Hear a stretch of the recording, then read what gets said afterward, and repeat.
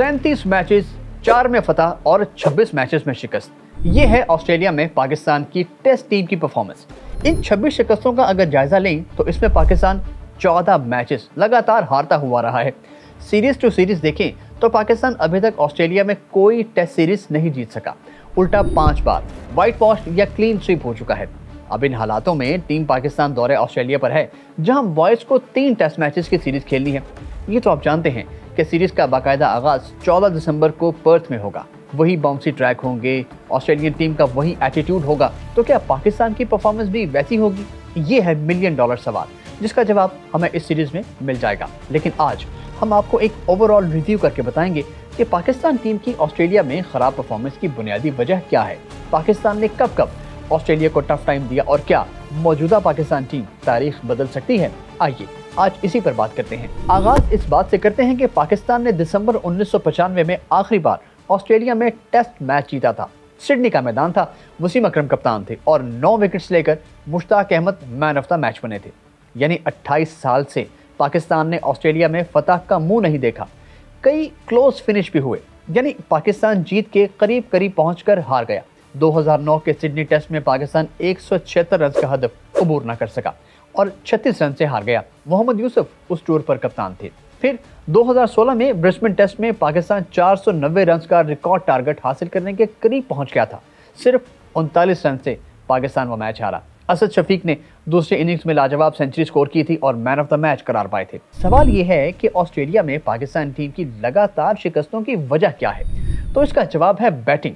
Pakistani pitches पर ढेरों run बनाने वाले बैटर्स जब ऑस्ट्रेलिया के विकेट्स पर बैटिंग करते हैं तो कंफ्यूज और क्लूलेस नज़र आते हैं। सिवाय चंद एक परफॉर्मेंसेस के, जैसा कि 2016 के बॉक्सिंग डे टेस्ट में अजहर अली की डबल सेंचुरी ये किसी भी पाकिस्तानी की अब तक इकलौती डबल सेंचुरी है ऑस्ट्रेलिया में।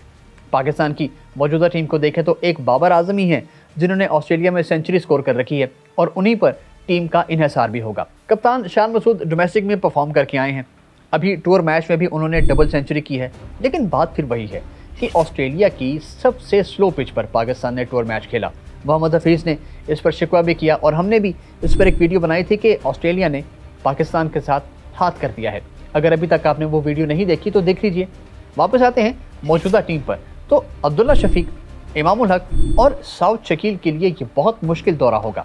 रिजवान और सलमान आगा को भी यही मुश्किल होगी। बॉलिंग में शाहीन शाह आफरीदी के अलावा कोई काबिल ज़िक्र बॉलर नहीं है। यानी अगर उन्होंने जल्दी आउट ना किए तो ऑस्ट्रेलिया बड़े स्कोर कर सकता है। स्पिनर भी कोई खास नहीं। अबरार अहमद वैसे ही अनफिट हो गए हैं। तो इन हालात में क्या बनेगा? पाकिस्तान छठी बार वाइट वॉश होगा, क्योंकि ऑस्ट्रेलिया बड़ी तगड़ी फॉर्म में है। इस साल उन्होंने वर्ल्ड कप भी जीता है और टेस्ट चैंपियनशिप भी। तो लेट्स सी अब थोड़ा माजी में चलते हैं। पाकिस्तान ने उन्नीस सौ चौंसठ में पहली बार ऑस्ट्रेलिया का दौरा किया था, जिसमें एक ही टेस्ट मैच था और वो ड्रॉ हो गया था। पाकिस्तान ने दूसरा टूर उन्नीस सौ बहत्तर में इंतखाब आलम की कप्तानी में किया और तीनों टेस्ट मैचेस हार गया।